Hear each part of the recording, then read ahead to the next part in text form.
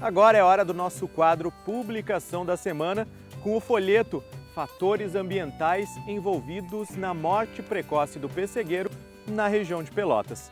Esse documento, então, busca entender os motivos e apresenta informações sobre esse, que é um dos principais problemas técnicos envolvendo a cultura do pessegueiro. Para baixar esse material, você já sabe, www.embrapa.br.